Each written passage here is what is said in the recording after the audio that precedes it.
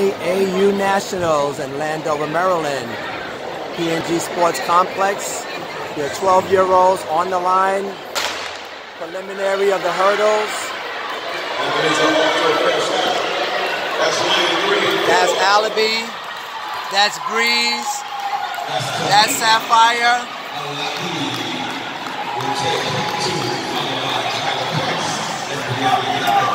We'll get their times.